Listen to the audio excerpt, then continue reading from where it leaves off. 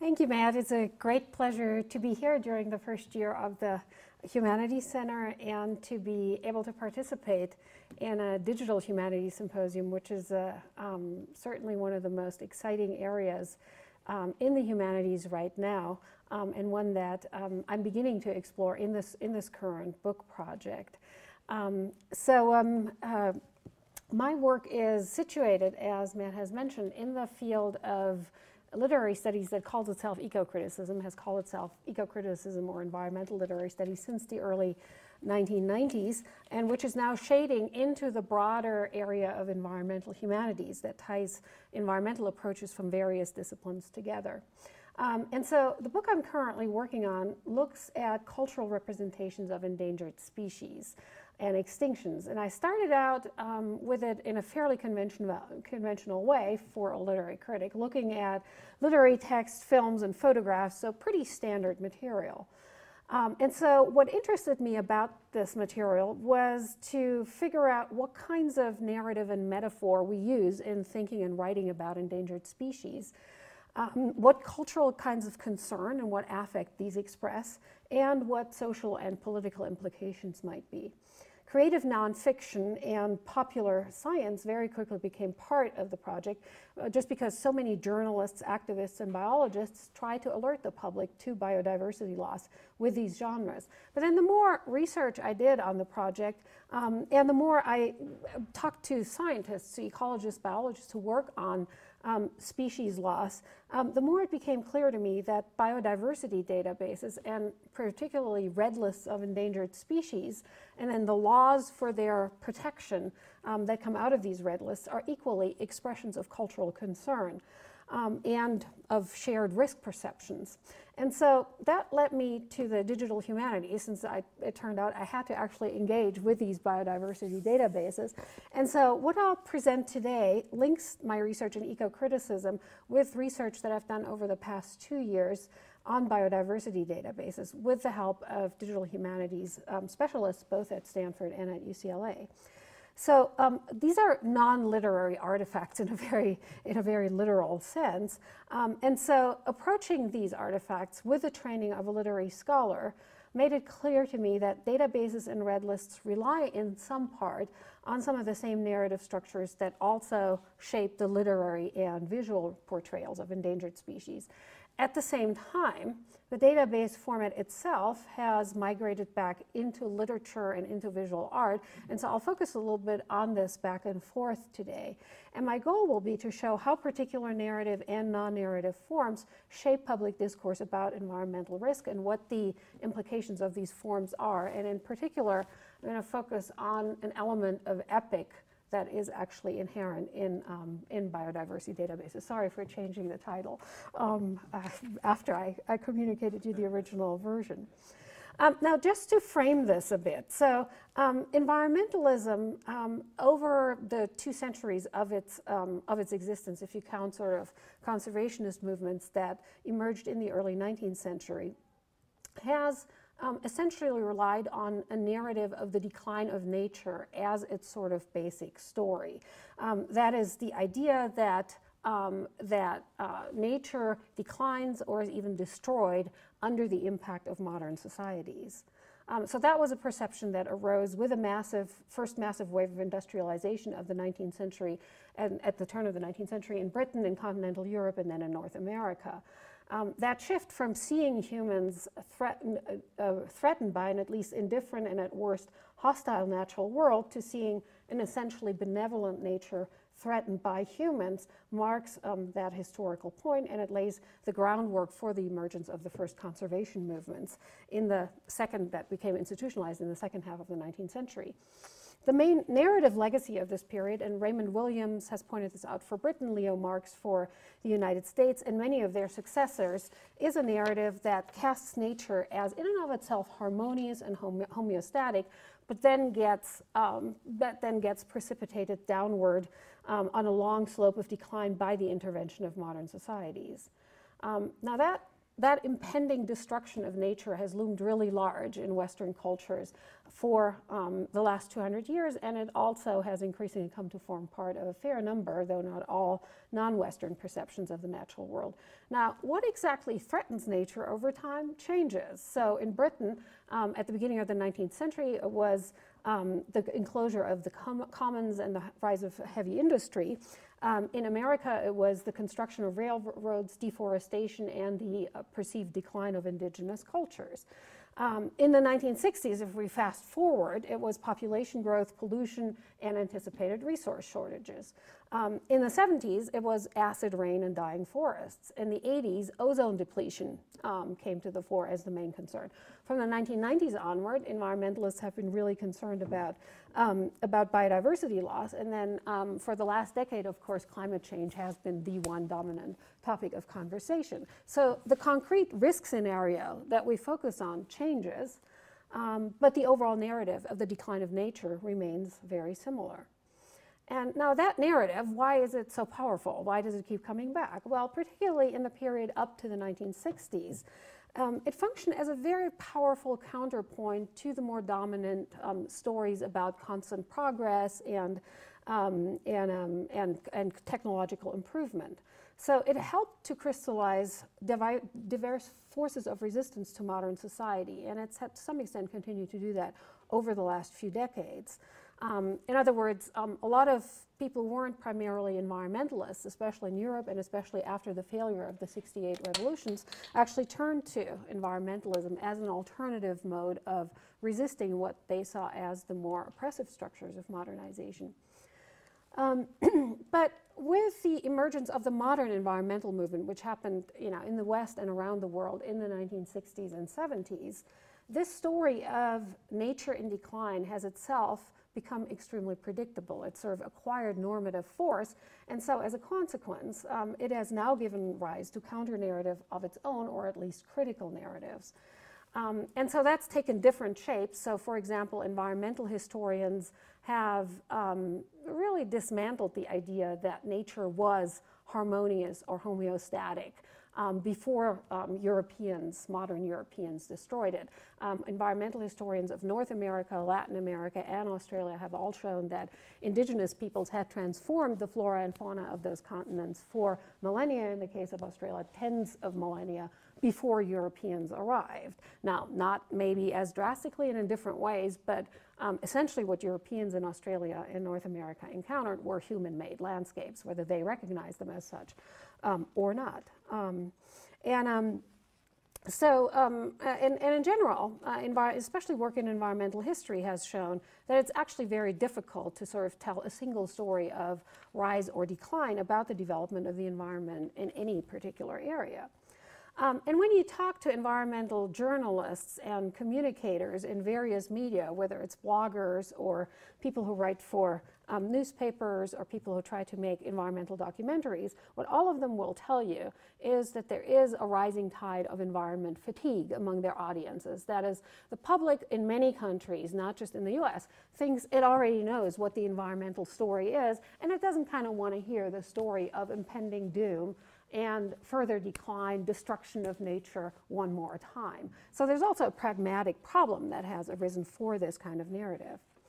So um, for these reasons, there's currently really a very fundamental shift underway in American environmentalism and to some extent also in other kinds of environmentalisms around the world, but particularly in the United States, um, there is now an urgent question of what other kinds of stories do we have to tell about nature that don't always boil down to, oh, you know, if we don't reform our ways, it's all going to be gone within two decades. Um, now, um, now, um, what, so, so assuming that, that this narrative of decline, however, is in some ways fundamental to environmentalist thought, so what other shapes can the environmental um, imagination take? Um, since declensionist narratives are usually explicitly or implicitly oriented toward a particular moment of the past as a paradigm by which you judge the present. Um, are there other ways that in which we can orient environmentalist, environmentalist thinking toward the future?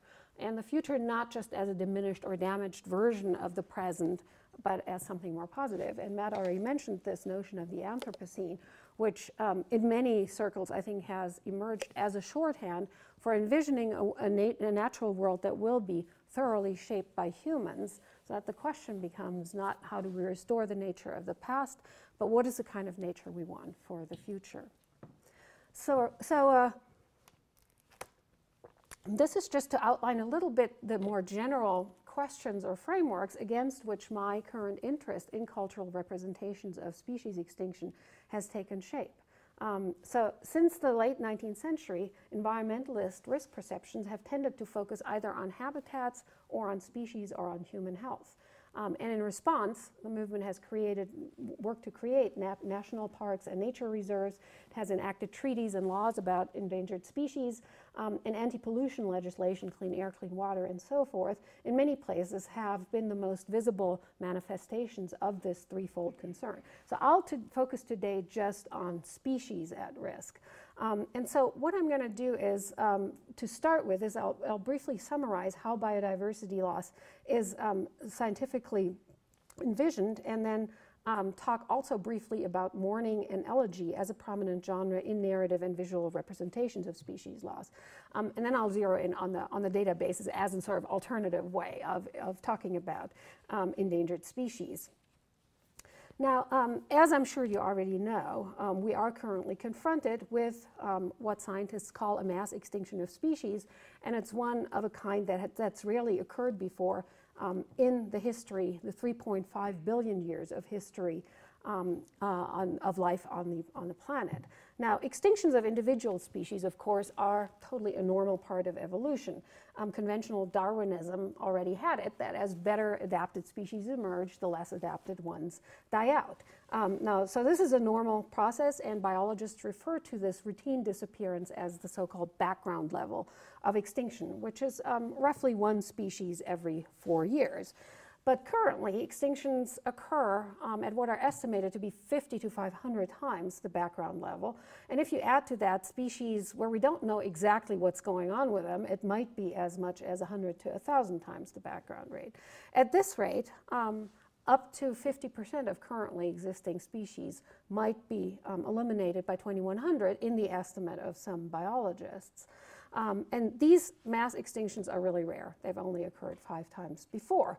Um, and each time it took millions of years for biodiversity to get back to its pre-disaster level.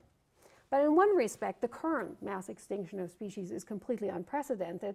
Um, all of the earlier mass extinctions, the last was um, 65 million years ago when um, Earth got hit by a meteorite and that wiped out not just the dinosaurs, but 75, 80% of um, species then existing.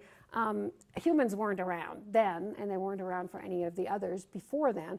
But now humans not only are present to witness it, but they are, in fact, um, bear the major responsibility for most of the extinctions that are now taking place. Um, biologists have come up with this really charming acronym HIPPO to, um, to summarize the most prominent causes of species extinction. So it's habitat destruction, far and away the most important one, invasive species, uh, human population growth, pollution of various kinds, and then overhunting and over, over collecting. What the consequences might be of that large scale of biological change, nobody really knows in any detail.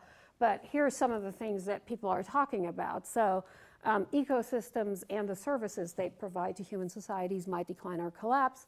Um, genetic diversity at all levels from you know subspecies variation to species to ecosystems might be reduced. Um, we might lose energy and food resources for the future as well as possible medical resources. And then last but not least, um, important cultural assets might be, might be destroyed in the process.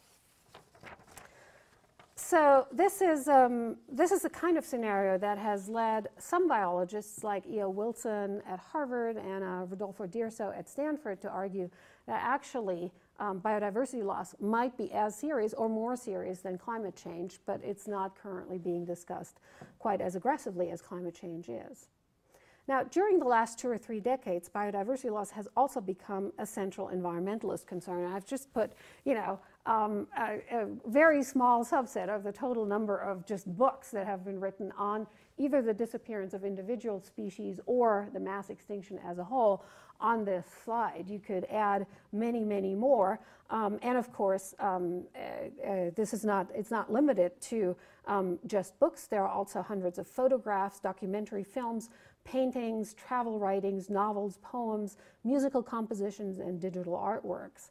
Um, species extinction, of course, for those of you who are sci-fi buffs, um, has also popped up in science fiction um, from the 1960s, from Philip K. Dick's Do Androids Dream of Electric Sheep, to uh, Kurt Vonnegut's Galapagos, and more recently, Margaret Atwood's Oryx and Crake. And most recently, it's actually also become an important part of mainstream American fiction. Um, as a concern that um, comes to shape certain characters' dispositions in much the way that other preoccupations with wealth, professional success, marital infidelity, or fear of death do. So think of Lydia Millet's How the Dead Dream, which I'll come back to a little later, Jonathan Franzen's Freedom from 2010, or T.C. Boyle's When the Killing's Done from 2011. Um, as they're portrayed in these novels, endangered species and their conservation have just become part of the makeup of the average American middle class psyche. So it's part of routine kinds of alienation and anomia, right? Now, most of the visual, verbal, and musical works um, engage with the disappearance of species by using some of the genre templates and rhetorical strategies of elegy and tragedy. So what they usually do is they portray these admirably well-adapted organisms that were doing just fine until we evil humans came along and drove them to the brink of extinction, and that was, you know, no fault of their own. And I shouldn't say evil humans. Actually, um, uh, extinction is, uh, is portrayed in fairly nuanced ways. Um, sometimes humans are um, hubristic, they're arrogant, um, indifferent, and ignorant. Um, uh, and sometimes, um, you know, it's explicit, um, explicit greed or, or evil intent that motivates them. Um, and so you find in this context sort of very familiar tropes of melancholy, mourning, and loss. Um, these accounts, um, and it doesn't matter whether they're novels or documentary um, uh, writing or film, tend to focus on a fairly familiar range of species, and you probably all know what these are called. It's the what, what, um, what is often referred to as so-called charismatic megafauna, right? So large and fascinating mammals and birds, so gorillas, polar bears, pandas, tigers, white rhinos, whales, and then among the birds, sort of condors, woodpeckers, and parrots make an appearance. Attractive frogs, if they're brightly colored like the one you showed, Stephen, they get some coverage, but most other reptilians, amphibians, and fish do not, and among the invertebrates, really only butterflies get any coverage at all. Worms, fungi, plants and microorganisms don't, even though you could argue that they're no less affected by extinction and in some cases also quite important for ecological function. Now, the fate of the species that um, do attract attention is often narrated as part of histories of modernization. So they function as synecdoche, sort of as part of the whole for turning points in a particular culture's move toward modernity and for what was left behind at those junctures. And I've written an article about this, so I'm not going to, I'm not, I'm just going to refer you to that and not, not come back to this. Um, so, so the idea in this article is that the species that we select out, in the end, um, it's not about the species itself. It's what about how we have changed and what we've lost at the moment that our culture got modernized. But um, this, so this elegiac template for portraying species um, that are endangered often combines and sometimes competes with a different form, the database. And now the database is um, a form that, that media theorists consider fundamental to contemporary culture. So even when the focus is on one endangered species, lists of others often superimpose themselves in these texts and films.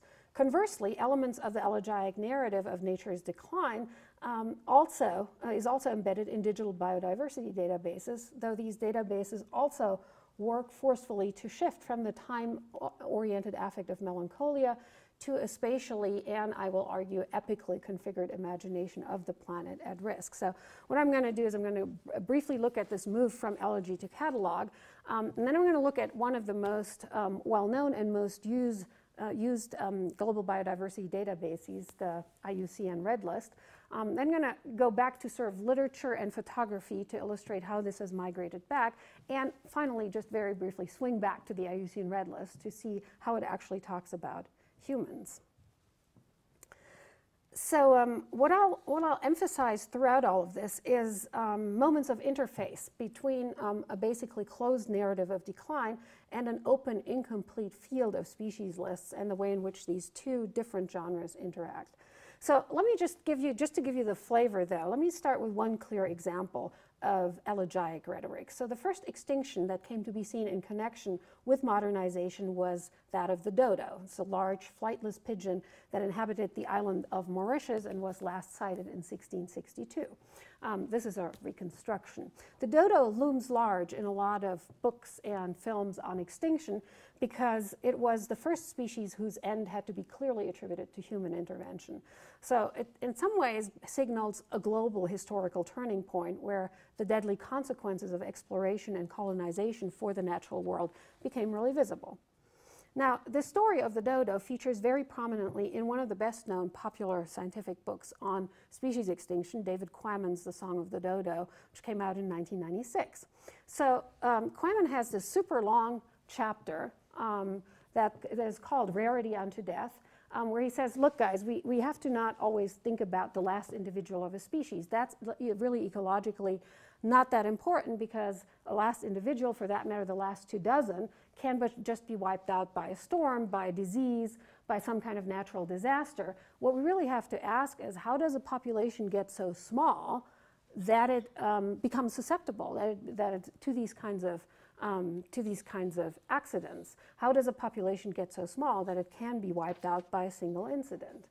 Okay, so that's a perfectly sensible biological argument to make.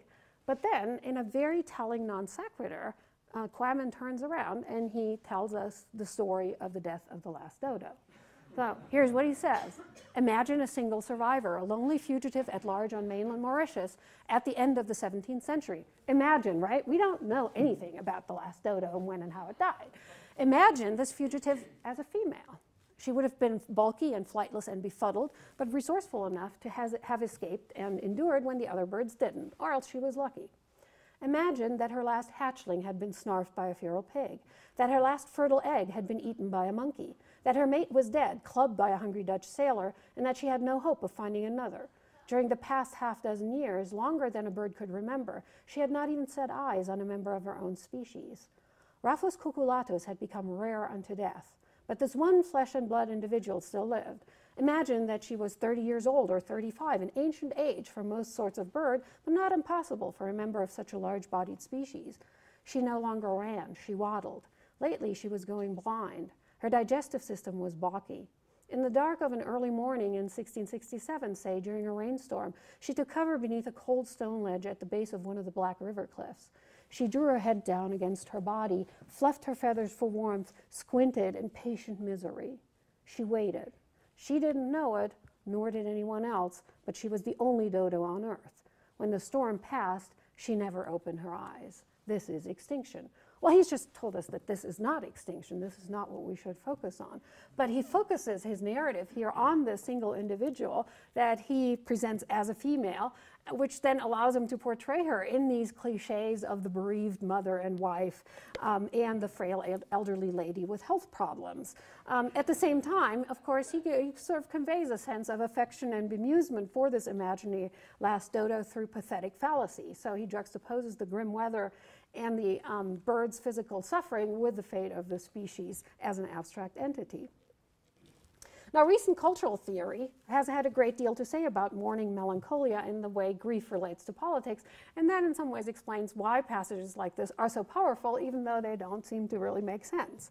Um, so Judith Butler, Clifton Spargo, and um, Jahan Ramazani, um, philosophers and literary critics, um, have shown this. Um, Catriona Mortimer Sandilands has mobilized this body of theory by arguing that at the core of environmentalist thought lies melancholia, the suspended mourning for an object of loss that is real but ungrievable because non-human beings and natural environments and ecological processes are just not usually considered appropriate objects of grief in our culture.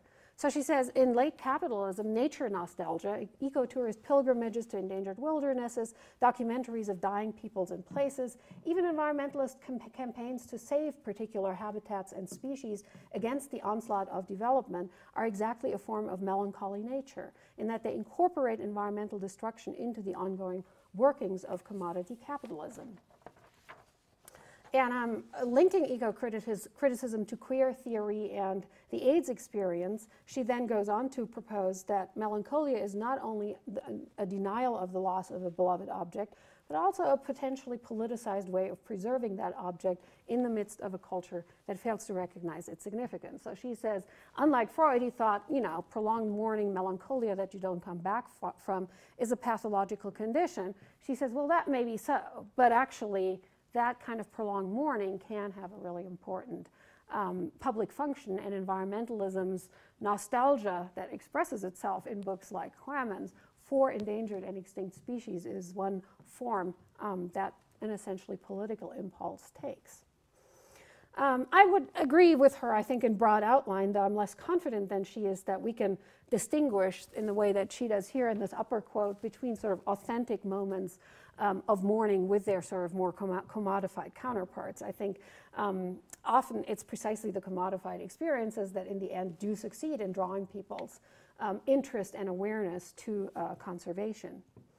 Now, texts or paintings that are concerned with endangered species often express that um, a, a, sense that the, the elegiac focus on the, fo on the uh, fate of a particular individual or a particular species falls short when you think really about the magnitude of the biodiversity crisis globally.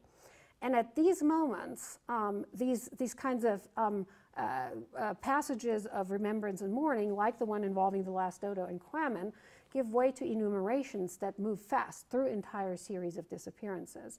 Um, and Quammen himself does this. He goes back and forth. He goes back and forth between elegiac moments and then simple lists. And here's an example. Um, so here's he talks about um, Hawaii. Mm. And so he describes the ecological processes and then says the Laysan honeycreeper is extinct, the lesser koa finch is extinct, so are the greater koa finch and the Kona grosbeak and the Hawaiian rail. The greater amakihi is extinct, as are the Oahu nukupu'u and the Kioea and the Oahu o'o, and at least three out of four subspecies of Akialoa. Okay, and then um, a few pages later, he talks about Guam and the um, havoc that the brown tree snake has, has wreaked there. Then the Guam flycatcher went extinct, blip. The bridled white-eye disappeared, blip. The rufous fantail, the white-throated ground dove, the Mariana fruit dove, the Mi Micronesian honey eater, blip, blip, blip, blip. Of the 11 forest-dwelling species, these six all vanished from Guam during the mid-1980s. Now, these kinds of catalogs are also super common in books on extinction, and in fact, um, you know, a lot of the books that are travel logs are just really a way of, of giving you a catalog by way of a trip around the world. So um, so this is a different way of going about pointing us to species at risk. The list or database that seeks to name and describe all known species and to classify them according to their risk of extinction. Umberto Eco has pointed out in a wonderful book on lists throughout the ages that certain kinds of lists for foreground their own incompletion as a way of pointing toward those things that can't really be listed or enumerated. Um, and so that I think gives one interesting window um, on databases um, that, which I'll now talk about in a little more detail. So the rapid pace of species loss has been one of the major impulses in the creation of at least half a dozen global biodiversity da data, databases that have been created over the last two or three decades. Um, so the Encyclopedia of Life, which is um, uh, pioneered by E.O. Wilson, um, the Catalog of Life Consortium for the Barcode of Life, that's mostly sort of a genetics enterprise, um, the Global Biodiversity Information Facility, then the IUCN Red List, which started out as a red list, but now inc increasingly includes least concern, sort of unendangered species, and so has become um, a database. And then you have other kinds of databases that are also global in their scope, but they don't cover all taxa. So BirdLife International focuses on the um, 10,000 um, uh, known species of birds, and the recently completed census of marine life sought to explore all marine species and turned up really um, amazing things. Now, putting together these kinds of global databases means assembling information from tens of thousands of sources and formats. Um, and this, in and of itself, is really a Herculean labor. Um, it's arduous, time consuming, labor intensive, and expensive. Um, not all of the database projects have all the funding they need, and so the question if and, way, if and when they will ever complete their task remains open for a lot of these. Um, but the encyclopedic or epic aspiration to document all known life forms is all the more an ongoing cultural as well as scientific project. So these databases um, contribute to constructing a particular way of relating to the natural world. Um, and I would argue that they are actually one of the forms that nature writing takes in the contemporary period. Um, and they might be understood as part of a broader trend that media theorists have pointed out the rise of the da database as a new cultural form and really a genre that needs its own poetics and aesthetics. So, the most well known of these theorists is no doubt Lev Manovich, um, he proposed in his 2001 book, The Language of New Media, that the database is a cultural form of its own and a new symbolic form of the computer age, a new, a new way to structure our experience of ourselves and of the world. Um, and he then goes on to say that as a cultural form, the database represents wor the world as a list of items and it refuses to order this list. In contrast, a narrative creates a cause and effect trajectory of seemingly unordered items. Therefore, database and narrative are natural enemies. Now, um, those of you in literature may know that he's caught a lot of flack for that last sentence, um, uh, and drawn fire in particular from Katherine Hayles, who has argued that, on the contrary, database and narrative are complementary genres. Um, and Manovich himself um, has actually suggested a more interesting analogy whereby narrative derives its meaning syntagmatically, by which he means um, it orders data in a sequence, whereas the database is in its basic structure paradigmatic. It lists all the, um, all the possible data in a particular field. So narrative, in his view, becomes a particular way of drawing on or traversing a database. And the distinctiveness of contemporary culture, in his view, would then be that database, the paradigm is given material existence, while narrative, the syntagma, is dematerialized paradigm is real, syntagma virtual. It's a really interesting suggestion because um, the implicit argument here is that in the past it was the other way around. It was narrative that we had and we had to infer other possibilities, right? So the data assembled in a database can be mobilized for a variety of cultural forms and functions um, and for aesthetic, administrative, or scientific genres, with narrative one among them. So um, I think this is an important idea um, because um, it articulates a core principle of the database that makes it different from other kinds of printed inventories or catalogs. Um, but Manovich, I think, understates the way in which the encoding of data constrains what kinds of narrative mobilizations or traversals of the data are possible. Each item in a database, and if you've ever searched or bought anything online, you know this, has to be tagged with so-called metadata, classificatory tags, in such a way that it can be found and retrieved. I mean, if you're looking for a shirt, I mean, whatever you look for, you know, something has to link it to your search item, shirt, right? So it has to be tagged in that way. And this is also true of um, species information. So the historian of science, Geoffrey Bowker, who's an impassioned critic of many of the classifying and archiving systems that characterize contemporary science, has pointed out that biodiversity databases typically include information on taxonomy, ecology, information me conservation me measures, and so on. But usually there's no category that includes any kind of indigenous knowledge about the species, nor for that matter, um, any cultural form of knowledge about the natural world. So the question here isn't for him which particular data do or don't get stored in a database, but what you can store in the database by virtue of its structure as a matter of principle. Now, let me explain, this is all a lot of theory, I realize, but let me explain how these media theoretical perspectives matter for um, a particular kind of biodiversity database, namely the red list. So red lists, in addition to the usual biological and ecological information, classify species in terms of how endangered they are. And as opposed to purely descriptive databases, they typically have normative and legal force. So a species that's included in a, in a red list can only be hunted or harvested within particular limits. It cannot be traded. Its habitat can't be altered in any major way. Um, you have to implement measures to protect it and so on and so forth. So nations and states and international organizations like the EU all keep these kinds of red lists as the basis for endangered species laws and international treaties. Because of the material impacts that listing or delisting a species can have, the process is often politically embattled, and the additions and subtractions from a red list or changes in the status of a species register a history of such conflicts and of conservationist successes and failures. I mean, you all know the um, sort of the frequent battles over listing or delisting wolves um, from the red lists of various states um, within the U.S. No, um, arguably, the, the most influential current red list is that of the International Union for the Conservation of Nature, the IUCN. It's a truly global red list, but is, as I mentioned, an unusual hybrid. It doesn't have any legal force in and of itself, but it's constantly quoted in conservation research and often becomes the basic point of departure for planning um, conservation in a particular region. It's acquired an indirect legal force, and its administrators have written up meticulously detailed guidelines on how to use the global information of their database in local context. And there's a whole story there about the local and the global, which I can't go into here today. The spatiality of databases is really, really fascinating. Um, so originally, the IUCN Red List focused only on endangered species, but then over the last decade in particular, it's in increasingly included non-endangered species. And so that's why it's become one of the most comprehensive um, global biodiversity databases, but it still retains from its original uh, function as a red list the classification of species in terms of risk.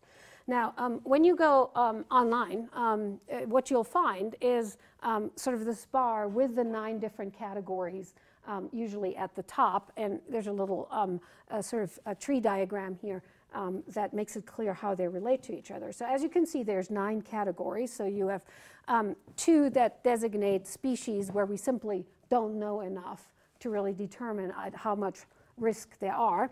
You have um, uh, uh, two categories that refer to species that are not endangered, so least concern and near threatened. Then you have three categories of endangerment, vulnerable, endangered, and critically endangered, and two categories of extinction.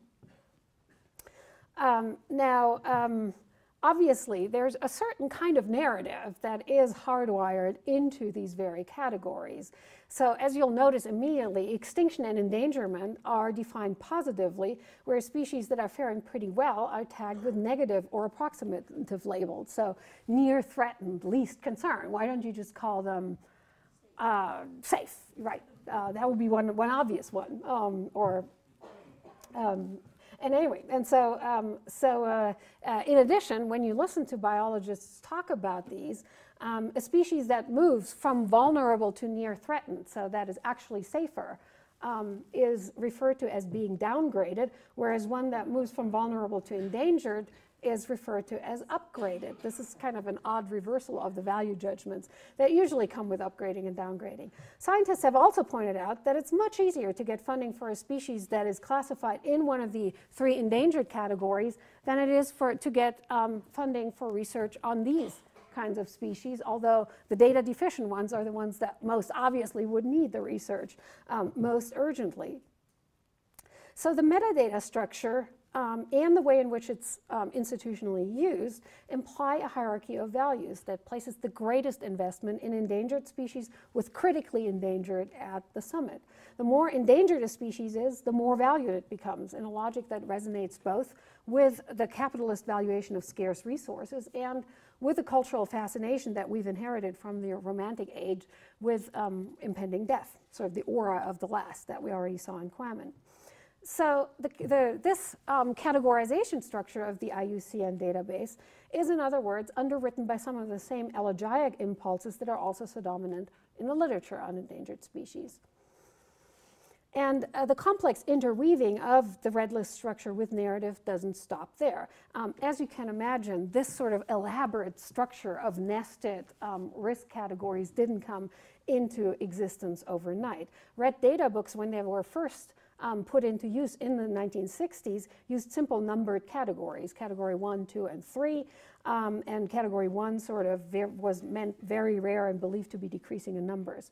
Um, in 1968, the categories were changed to endangered, rare, depleted, and then various modifications occurred in the 1970s and 80s. Um, and in the, in the 80s, another thing happened. That was the moment when biodiversity, when the term was coined, and when uh, species loss actually moved to the fore of environmentalist concerns and public debate. And so, in that context, it was felt that mm, you know, just asking the experts in a particular on a particular taxon what they thought the status of a species was was really kind of too approximative. That there had to be harder categories, and that you also had to have ways of comparing the assessments of different specialists. And so, at that moment, the IUCN started to introduce very elaborate um, quantitative criteria. That system was introduced in 1994 and then they revised it in, in 2001. Um, and so now the five core classifications of endangered species, so these, these five here, come with very specific quantitative criteria. So you can't just claim that something is endangered unless you can show the percentage to which the populations have declined over a certain number of generations. So this was an attempt to get away from narrative and to quantify, right? But narrative has made an odd comeback, precise, in some cases at least, uh, precisely as the consequence of quantification. So um, when I first started looking at the IUCN Red List online and actually reading a lot of the entries, um, one thing that immediately was striking was the very different amounts of text that different species come with. So some of them have literally like two lines Others have very, very long textual entries. Um, and so um, when, we, when we sort of just ran a count, um, taking out all the sort of just function words um, that, that occur across different species, um, uh, we, th this is a list of the, of the 25 most text-intensive species, um, so counted by character. So the sambar deer, which is an extremely widely um, a, a, widely um, spread population over, over Asia um, is, is the one that has the longest text entry simply because all of the different populations have to be detailed in their different um, conditions. Um, and you can see that um, a lot of the top 25 are mammals. But the fourth longest entry among the tens of thousands in the red list is um, Eretmochelys imbricata, the hawksbill turtle, so a reptile. And um, when you, so the, this is what the hawksbill turtle looks like. And when you go to the entry online, you'll see that um, you have sort of the justification, you have the index sites, um, data sources, you have sort of backward extrapolation. So there's a lot of, you know, what are the data for, for um, anything that we say about the, um, about the hawksbill turtle. Um, there's qualitative information, uncertainties in the, um, in the um, assessment process. And as you scroll down, um, you get, um, especially under threats, you get a long historical foray into the tortoiseshell trade, the history of the trade, 20th century trade. Um, there's, a, there's a passage on um, the Japanese um, tortoiseshell trade in the 19th century. And it just kind of goes on and on and on. And you wonder, what is this whole historical disquisition doing in the middle of an entry that's supposed to just classify this species? And so I start wondering about this um, because this, this animal is so high up on the, um, uh, on the, on the text count um, in the IUCN Red List.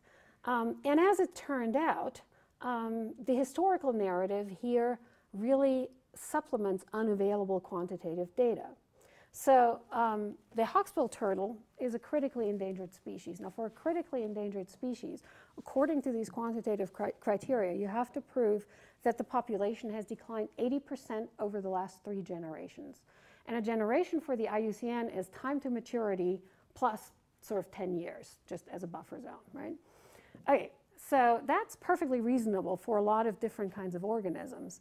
But in the case of sea turtles, you have the little problem that these are extremely long-lived animals, and their run-up to sexual maturity is 30 or 40 years. So in order to determine whether there has been an 80% reduction of the population over three generations, you'd have to have numbers from the 1880s, the 1870s, even the 1860s. Um, and the sea turtles are global species. Um, nobody has these numbers even now. The numbers are quite approximative. Needless to say, nobody has any numbers from the 1860s or 1870s. Nobody had an interest in counting them then, and it would have been technically very difficult. Um, so what we do have is we do have numbers. The only numbers we have are those of the tortoiseshell trade. So that's sort of used as a proxy here um, for determining how many hawksbill turtles and other kinds of sea turtles there might have been in the late 19th century. Um, as you can imagine, um, this did not leave a lot of the scientists involved in this research um, very happy because um, uh, based on these numbers, um, the hawksbill turtle is now classified as critically endangered, even though the best estimates are that there's about 2 million of them around the globe. That's not a huge amount, but other critically endangered species like the kakapo are down to like 117 individuals, or Spix's macaw down to less than 20 individuals. That's critically endangered. And so they're saying, now, a species with 2 million individuals should not be in the same category as these others. Um, and, so, um, and so a lot of the um, uh, the, in the marine specialist turtle group, a lot of the scientists have now turned against these IUCN criteria and say that these simply cannot be meaningfully applied to their particular group of species um, because it forces them to sort of do historical research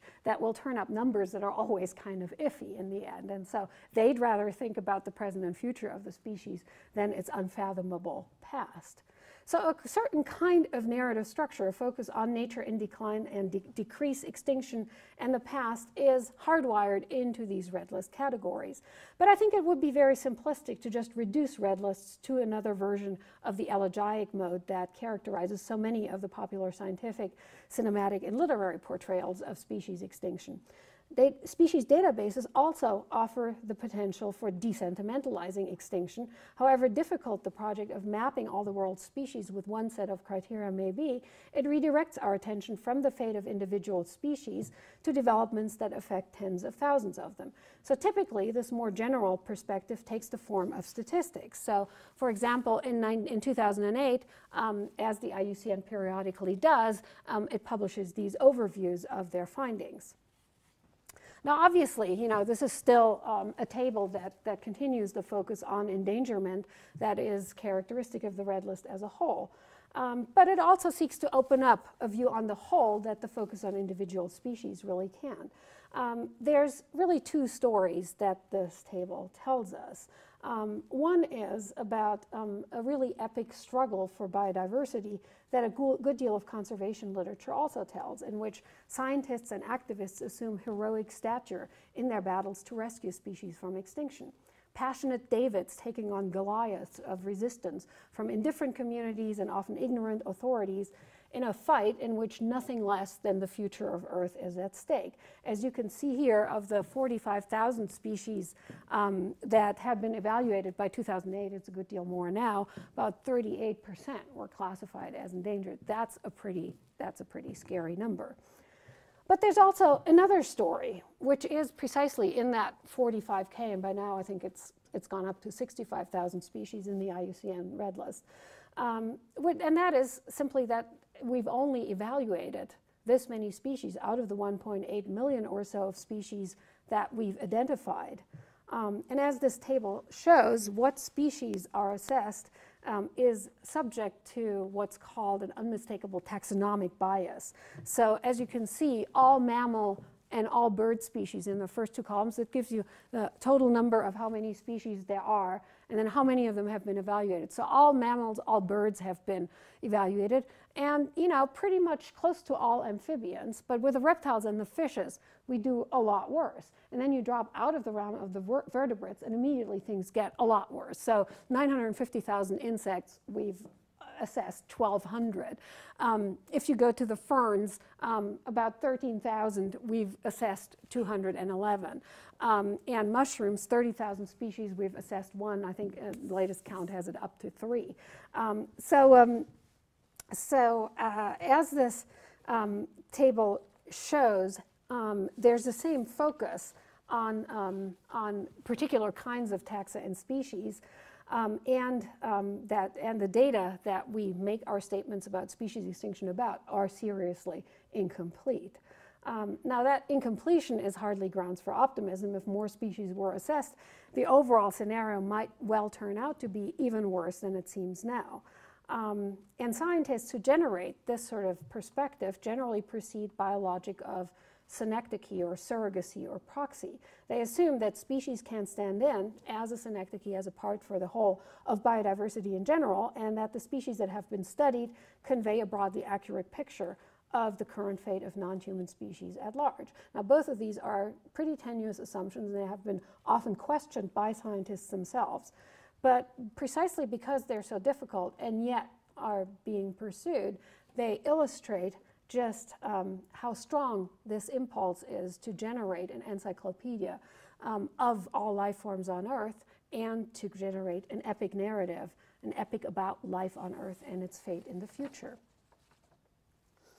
Now, what I hope this analysis of red lists and biodiversity databases demonstrates is that they combine elements of the elegiac narrative of nature's decline, uh, which is built into the basic metadata, with an epic aspiration toward documenting this global struggle in which the future of life and the planet itself are at stake.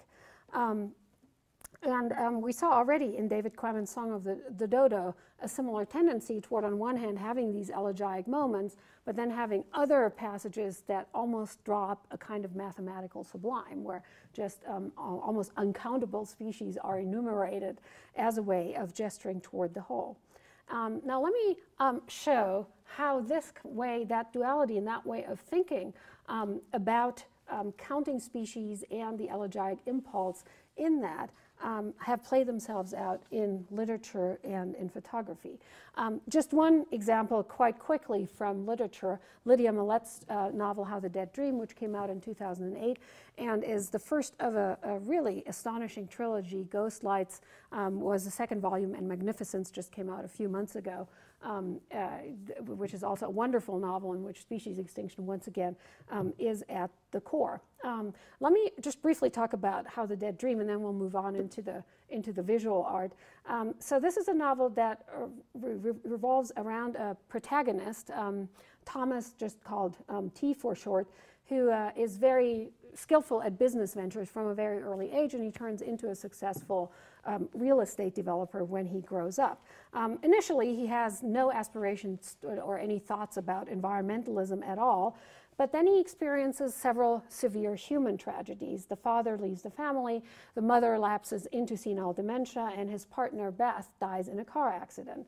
Um, now, these traumatic separations from loved ones gradually attract his attention to the animal species that his construction projects put at risk. He begins to research species extinction and he visits zoos with the explicit purpose of seeing endangered animals. After Beth's premature death, this interest evolves into a really strange kind of obsession. So he, um, uh, on certain nights, he will break into zoos so as to spend the night sleeping with particular an endangered animals in their enclosure, um, terminal animals, as the um, as the novel calls them. Um, always last the last of their kind: a Mexican gray wolf, um, a female Sumatran rhino, um, and then he meditates on the spatial experience of a swarm of pupfish in a concrete tank.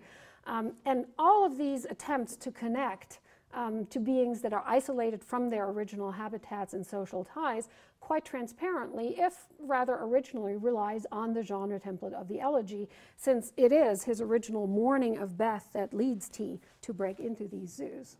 He himself is quite conscious um, of this connection, and he at one point sort of meditates on um, the death of a rat. Just if a rat gets um, hunted by and eaten by a fox, does, that, does it make a difference if that rat is the last of its kind? Um, and he quite explicitly makes the connection here um, about loss being common in the natural world, but um, he, and he's aware that this connects to his own experience of mourning and melancholia, but still he thinks this has to be transferred to the natural world in some way. If a being could be so singular to another, there was no doubt that there was singularity elsewhere, that the irreplaceable nature of being was not limited to his own small circle. So a fairly abstract and lyrical way of expressing how this concern might open out from a single human individual to a whole um, to a whole set of species. And that becomes even more obvious in the um, strange acknowledgments that follow the end of the novel. So the, the narrative kind of ends, and then there's these acknowledgments of friends and family. And then Millet um, launches um, into a dedication of the book to the memory of the West African black rhinoceros, which disappeared from the world in the time it took to write this book, and in honor of the rarest species in the United States, any of which may vanish in the blink of an eye. And then you get this whole enumeration of endangered species, which curiously start, stops at M. Um, and it's, it's, um, I tried to press her on this once when I, when I talked to her at an event, and she was sort of elusive on why that was the case and denied that it had any significance. It's hard to believe that since obviously one of the next words could be millet in this list, you know, so who knows? Or maybe it's just a way of signaling incompletion. So this is a really interesting novel in which mourning leads from the human to the non-human and from the individual to entire species and biological taxa. Um, and this mourning does translate into social action in the second and third volumes. So um, the, the horizon of experience that this novel and also the subsequent ones describe remain very individual. Um, but there is, uh, there is then a larger area of concern um, that takes the reader quite relentlessly to a global panorama of risk and loss. Um, so um, painters and photographers um, have also adopted these kinds of enumerative strategies over the last um, two decades, and they're often quite explicit that what they want to capture is just the magnitude of biodiversity crisis. So Isabella Kirkland, for example, has adopted the genre of the still life.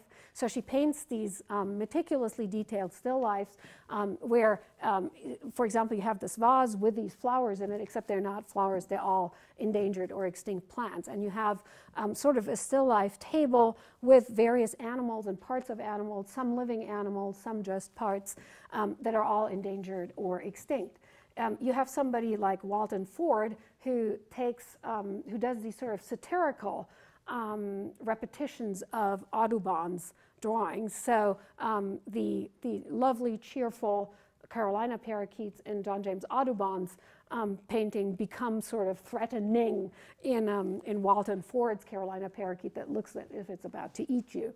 Um, or you have um, Tim Flannery, the climate scientist, and Peter Schouten's book, A Gap in Nature, on extinct species, again, meticulously detailed realist paintings that they researched by traveling to museums and seeing specimens um, around the world. And you have photographers. So, for example, Susan Middleton and David Liittschwager, who have published not just this one, but actually several volumes of close up photography of endangered species, um, mostly animals, but also some plants. And then there's um, Joel Sartore, whose work has often appeared in National Geographic. Um, and then in 2010, he brought out this book called Rare Portraits of America's Endangered Species. He's taken literally thousands of photos. Um, Rare is just one of his collections. If you go to his website, you'll find that he has um, a lot of others, one called Amphibian Vanishing, one just called the Biodiversity Collection, and so forth. Now, if you look at his, um, at one of his photos, the dusky seaside sparrow, um, it's an interesting photo. Um, it foregrounds how a living organism gets converted into an archival specimen, preserved in a jar and tagged for the archives. And the bird's isolation on the white background in a jar and in fluid visually um, brings home to you its loss of habitat, which is what this species died out of, uh, white died out. But this is all a small, pathetic dead bird, uh, and it's difficult not to feel compassion for it, especially um, when Sartore adds on his, um, on his website and in the book an explanatory caption with the bird's gender and name. So this is um, Orange, the last male dusky seaside sparrow. So it's a move that's actually quite similar to, to Quammen feminizing the last dodo. Um, so this is clearly in some ways an elegiac photo, even as it also evokes the database of the museum with a little tagging and the sort of specimen thing. A lot of his other photos, and this is just a selection, makes that even more obvious. So he always has, he usually shots, shoots animals, very rarely plants, and he usually shoots all of them, no matter what kind of animal they are, in portrait style and against a stark black or white background. He explicitly links that to the Endangered Species Act and says because the Endangered Species Act protects all species, regardless of their use or um, or um, uh, regardless of their use for humans or regardless of um, how valuable we consider them to be, that's what my photos and placing all these different species on the same kind of background tries to express. Now, as you can see, this is a technique that yields quite, star quite startling results, especially when he shoots insects or fish or newts that are usually um, photographed as a whole when he takes these portrait style photos of them. The equal treatment of vastly different species, though, also makes you as the viewer lose a sense of their size and proportion. And the, uh, these empty backgrounds become more disturbing as you see more of these pictures because the subjects are never embedded in any of their ecological habitats. Um, they seem artifactual and decorative. And that seems particularly true here of this fish, which was clearly shot in water, but then by taking it out of that water, it looks just like a stuffed mounted specimen. So it's a very, it's a very odd picture that sort of gets more disturbing um, as, you, as you look at it. Um, so these, the, the so the, the, the, fish in particular looks really strangely lifeless and, and like an artifact rather than a living being. Now, um, these photos seem to some extent to emerge from a fairly detached and not at all an ecological gaze. Um, and it seems to be sort of classificatory. If you look at one of his websites, when you see sort of dozens of these pictures, the interest no longer seems to be in any individual species, but just um, in the scenario at large. Um, now, this may seem to be at odds with an environmentalist perspective that usually foregrounds connectedness and rootedness. These are uprooted species, clearly. And, but I think that's precisely the point here. Sartore's photography wants to de-romanticize species and their disappearance. It shifts the conservationist appeal to really a purely aesthetic level.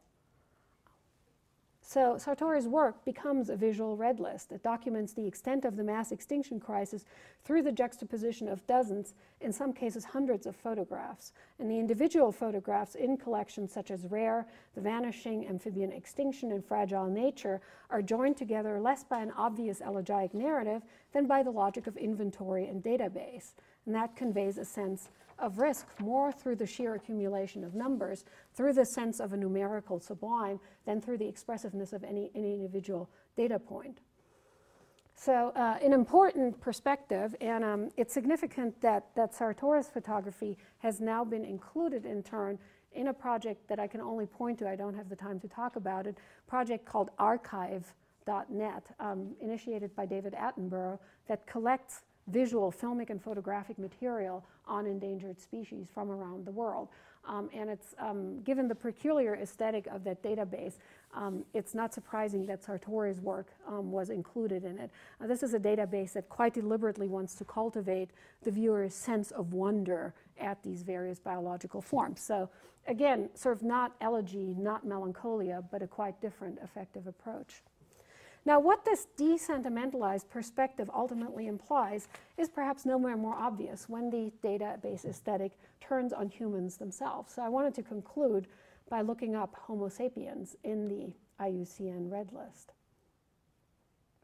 So you'll be very gratified to find out, as you can see here at the top, that the IUCN Red List considers us least concerned, so we're not endangered.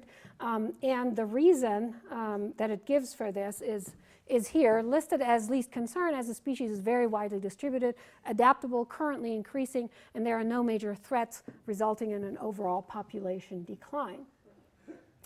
Um, and um, uh, when you um, scroll down to uh, major threats, um, we are reassured that there are currently no major threats to humans, although some subpopulations may be experiencing localized declines as a result of disease, drought, war, natural disasters, or other factors. And then um, under conservation um, actions, um, the IUCN Red List tells us at present no conservation measures are required.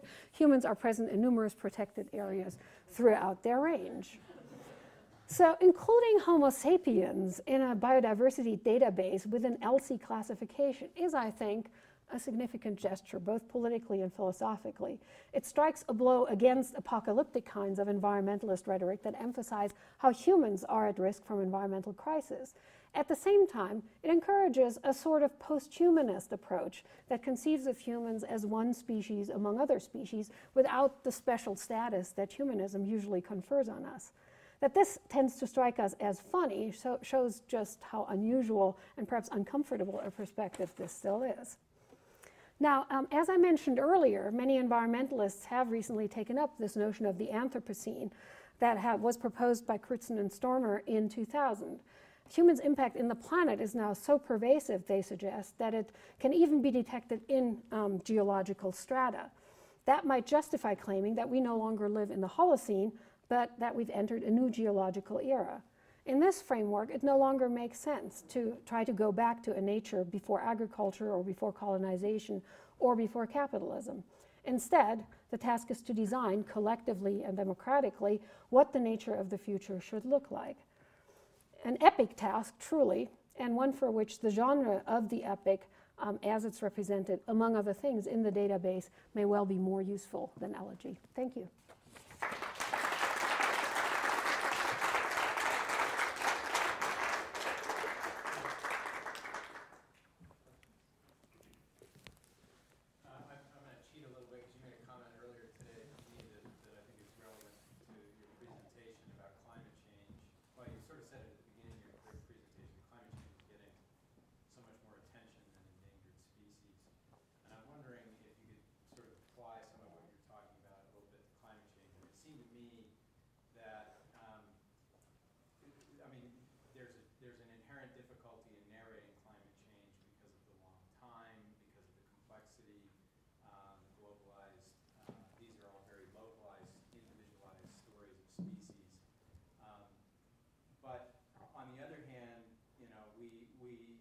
Mm-hmm.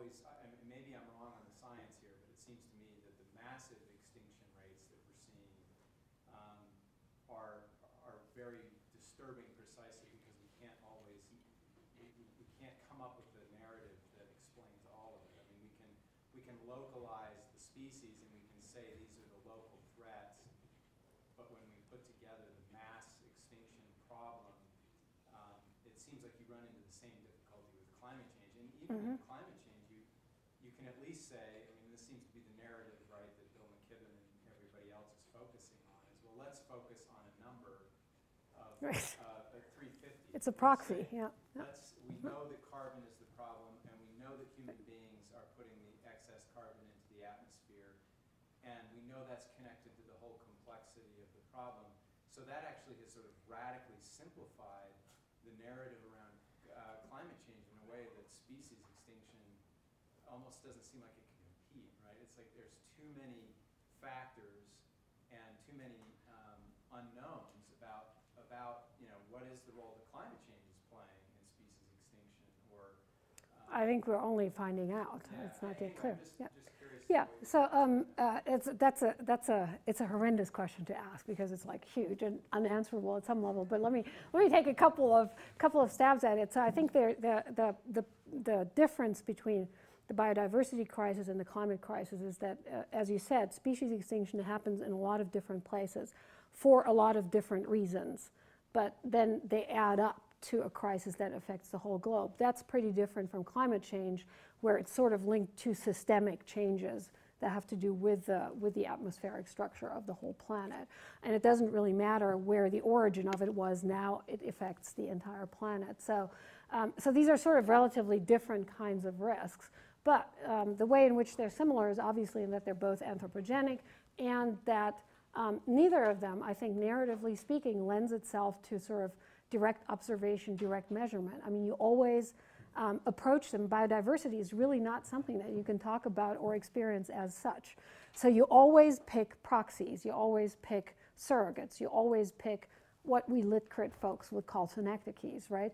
So in this case, it's particular species and last individuals. In the case of climate change, it's the melting glaciers that come up, you know, photographically represented, where you can actually sh show something that can stand in for much more massive changes. Or again, particular species. I mean, the polar bear is actually um, a really interesting example of a species that doesn't have particular cultural significance, you know, outside of Arctic societies, yet that um, a whole huge part of the world population has latched onto as the symbol of climate change and, and what it does.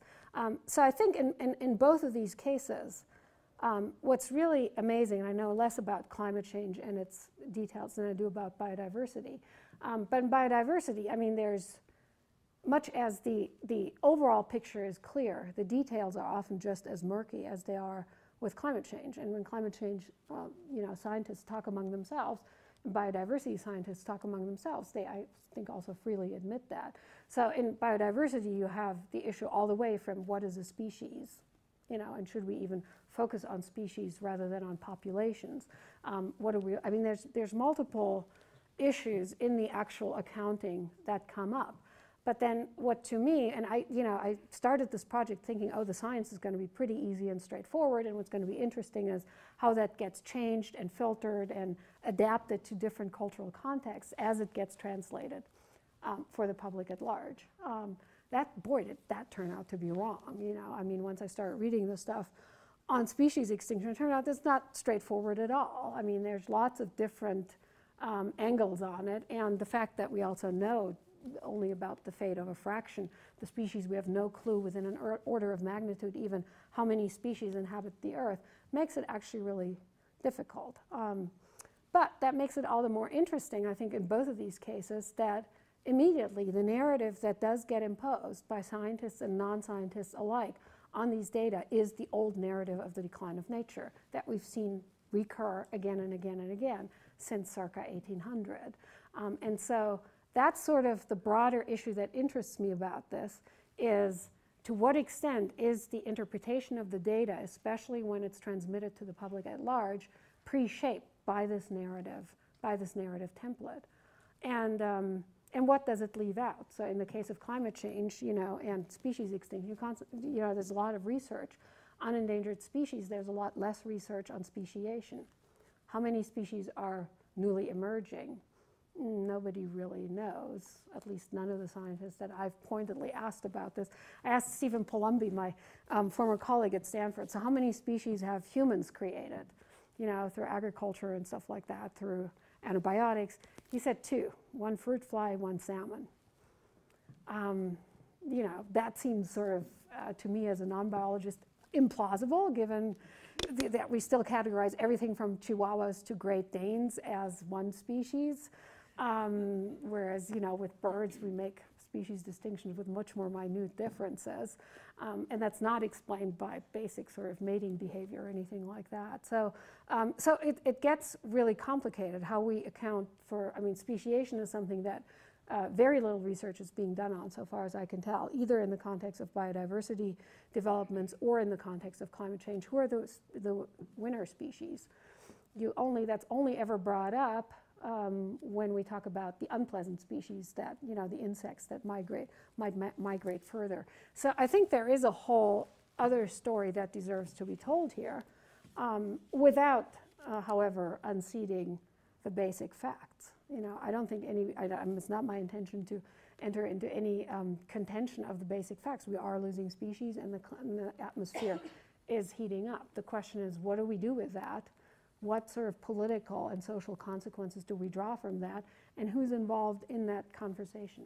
I think those are. Sorry to quickly follow the question. Do you think that, I mean, so you're ultimately saying you think that a more positive, less declensionist narrative um, is, is better suited for what we need right now? And I'm wondering if in both cases, the climate change and species extinction, if you see the role of compassion um, coming forward. I mean, it is, is feeling compassion for a species or feeling compassion, a lot of climate change rhetoric now is focusing on the poor, right, and its Mhm. impact on the Right. poor. So it's not that they're endangered as a species, or we are, but No, that, we're not. that Yeah. people's livelihoods are, are at risk and, and they deserve our compassion. So that's, it's kind of a, I mean, I don't know, if would you see that as a more positive uh, Oh, I, I think it plays a huge role, but I've always been, as you know, I've always been a little um, ambivalent about compassion as a means of mobilizing people because it mobilizes people, and we know that to be so. I mean, whenever there's uh, a tsunami or an earthquake, you know, people will donate and generously to people for the, the well-being of people whom they've never laid eyes on, right? Um, but that kind of mobilization tends to be short-term. and it doesn't usually translate into sort of longer commitments. In the case of non-human species, the additional problem is that we feel compassion for animals that are either close to us or that we find attractive. We don't usually, you know, there's no compassion for the smallpox virus or, um, you know, or, or microbes, microorganisms that are not, or that newt there. That's an interesting move that Sartore made to include species that most people find revolting, you know. Uh, a, lot, of, a lot of people, you know, who are not environmentalists, the snake species goes extinct, they're not sorry about that. So compassion goes only so far, right? So I think it's a powerful, it's a powerful affect, but I think it's sort of limited in what it can do. Um, so that would be my only reservation about it. One more question. Just a question about whether it's a list or a narrative, a database or, or something that we can identify with through sequence or the ways we usually organize experience. It seems like in each of those cases, it's still very much the reflective symbolic capacity of humans to manage and manipulate data. Right. Only humans could be the ones, for instance, who could reflect upon themselves as a species among species Right. and represent it. But the question I have is, wouldn't then, if there's really no longer a strong sentimental or human or anthropomorphic fo- focus, if we just recognize we're the only ones who are in a position to potentially manage the future, that the better expenditure of energy is not so much on the front of trying to maintain huge habitats and environments so many political barriers, but instead what you're seeing happen, like in Norway with the seed, um, in the permafrost, the seed The. Svalbard. Yeah, when they're putting, to- there are other ways, in other words, to capture the codes of biodiversity that kind of do an end run around everything except the activating features of, of the organism. So maybe that would be a more, I mean, why would, what, if, if, whether it's a list or a narrative, it still seems like it's not getting at the core of a long-term way that you could potentially archive what's meaningful about the species that are disappearing. Um, so I'm not sure that I agree with that. I mean, I think for me, these these seed banks and um, and gene collections are actually they're another way of of they're another memory archive, right? They're another. I mean, just like these data banks try to sort of store. Um, and I mean, some of these databases are actually trying to store genetic information and genetic sequences um, of species. So not all of them are as, as textually inclined as, as the IUCN is. That's one that um, I, as a literary scholar, can more easily read than some of the others. But, um, but they're not all structured in the same way. But the seed bank, for example, I think what's interesting about that is that it actually does impose exactly the same kind of narrative of loss and decline on humanly created species and subspecies, right? And when you read Michael Pollan, there is, um, uh, I mean, you might expect that at least in the context of something like agriculture, that there might also be a moment of reflection on the enormous creativity of that humans have. Um, have shown in their interaction with other species and the creation of innumerable subspecies and variants, as well as on these two occasions, new species. Um, but, um, but that's not the case. I mean, the, when you read any books about, um, about agriculture, the tone again is predominantly elegiac, you know. So Michael Pollan will go on and on about how, oh, we had 6,000 species of apples in the 19th century, and now you go into the average supermarket and you only find 12 or something, you know. And so that's where the seed banks come in as a preservation of this.